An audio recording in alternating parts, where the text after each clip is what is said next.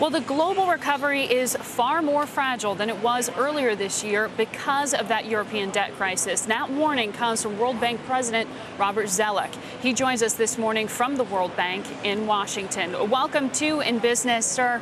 Uh, the IMF warning today that the world's biggest economy uh, will only expand about 1.5% this year. Uh, what do you see as the likelihood uh, of a U.S. recession? Well, I think we're getting uh, closer to the risks of double dip. I still don't wouldn't predict it, but it really depends on how these events coming out of Europe are managed. Well, when you say uh, that the global economy is far more fragile, one of those worries for you is what's happening in Europe. We saw that global coordinated dollar funding action by central banks just last week. Is that the kind of move that would help stabilize this? Well, it helps stabilize it, but what you've seen so far are actions coming out of Europe that really buy time by providing liquidity. So whether it's trying to deal with the bonds of some of the countries that have been in trouble, whether it's trying to provide liquidity to the banking system, um, I don't mean to denigrate uh, buying time, but the question is how the time will be used. And the fundamentals still going back to the question of what they're going to do with the combination of sovereign debt, banking system, and for some countries, competitiveness. That's what they have to turn to. So is it the right time for us to be talking about uh, creation of a euro bond? Well, that is one tool. So sometimes people get fascinated with one uh, tactic or, or, method. I think the, the critical issue for the European political leaders to face and to convince their parliaments and publics on is which way do they want to go? Do they want to have a deeper fiscal union? And Eurobond would be one method, but there are a lot of other ways you could deal with that. Or are they willing to face the consequences of over-indebted and, and uncompetitive members, which would take them in another direction? But I think the time for muddling through is really about run its course. Yeah, a headline today in the Wall Street Journal that the Bank of China uh, has basically told some European financial institutions that their line of credit ran out. They won't trade derivatives with them in local markets. They named BNP Paribas, uh, SocGen, a few others. Are we uh, at a real crisis point yet with global funding? I mean, are you concerned about that? Well, I mean, your, your listeners are people who watch markets, so I'm sure it's not a surprise that you've you started to see some illiquidity problems for some of the banking institutions uh, through term funding and others, and that's one reason the ECB has stepped in. So mm-hmm. that I think can ward off the crisis. So whether it's the ECBs, whether it's this EFSF to try to deal with some of the problems, but as I've mentioned, I don't think that deals with the fundamentals. The fundamentals really do come back to these questions of what are you going to deal with the sovereign debt of countries that really can no longer pay. And if, uh, depending on how you handle that, it's going to have the effect on the bank's capital. And there are some countries that are frankly unlikely to be able to take the steps to return to competitiveness in the current system. So it's, it's the interrelationships of those three. And these require also at some point some attention to the structure of growth. So the U.S. has, frankly, some similar longer-term issues. It's not quite in the bullseye at, the, at this moment, um, but over the next year or two, it's also going to have to face up to fundamentals. And that's what the market is reacting to, in my view. Should we be talking about China and other uh, developing markets uh, bailing out Europe or supporting it? Is that a realistic thing? Well, I, have been I've been uh, sort of uh, pushing that down a little bit because I just think people are looking for a silver bullet, and I don't think that the Chinese are necessarily going to bail out Europe. Um, of course, there's always a chance to have uh, some of the Chinese sovereign funds buy various assets, perhaps if there's various privatizations and things like that.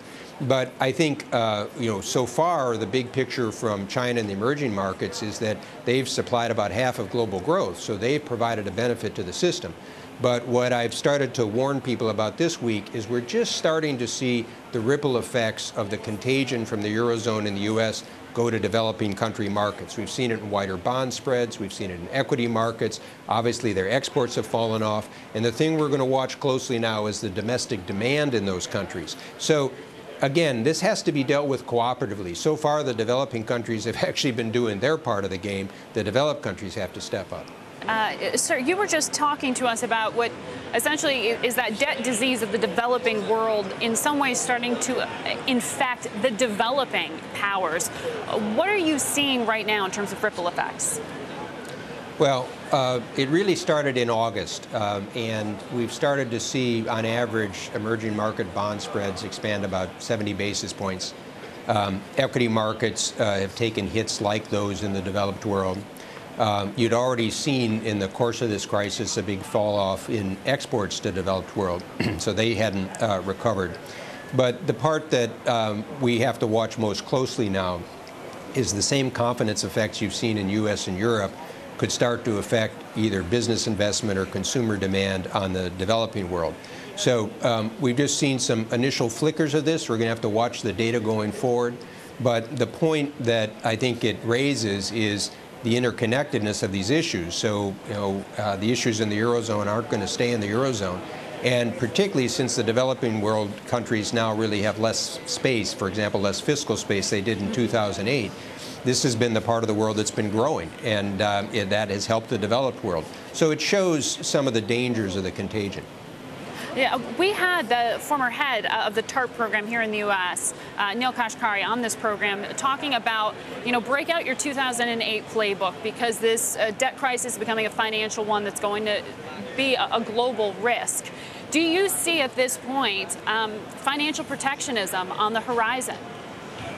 Well, I think in an environment like this, you have to watch out for all types of protectionism. So far, the, the trade protection has been held off because in emerging markets, they've been a little worried about inflation. So they've kept barriers down. But you've seen uh, in the recent weeks some, uh, some increased barriers in the machinery sector coming out of Brazil. And I think that uh, with the turmoil, there'll be more political pressure for this. But I think Neel's point goes to a, a key one uh, for the Europeans with the EFSF, which is that, uh, you know, given the uncertainty, it would make sense to have the EFSF have the full range of tools, whether investing in banks, whether guarantee power, various lendings, buying bonds. But what I keep emphasizing is that is a way of dealing with the fundamental liquidity issue. At mm -hmm. some point, the key countries are going to have to decide what type of fiscal union, if they're going to have a fiscal union, and this could take different forms. You've had assumption of debt ideas, you have creation of new uh, market and, and institutional yeah. disciplines. They need to use the time they have now to start to go in that direction or manage the consequences of, of the other problems.